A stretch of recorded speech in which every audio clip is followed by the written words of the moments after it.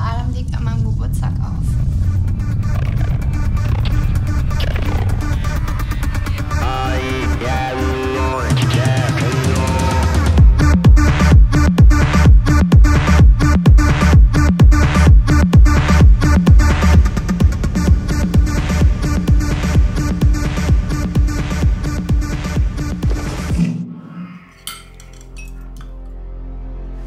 Tina hat im Moment ein bisschen Probleme, aber ich finde, sie geht ganz toll damit um.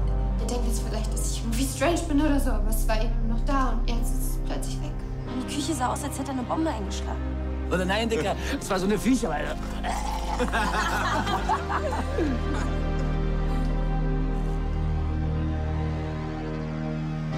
Weißt du, hast du neulich erzählt, dass du als Kind immer so Sachen gesehen hast, oder? Ist nur so, ich kenne das. Unser Hirn ist das größte Mysterium auf Erden, glaubt. Und es spielt mitunter üble Streiche mit uns.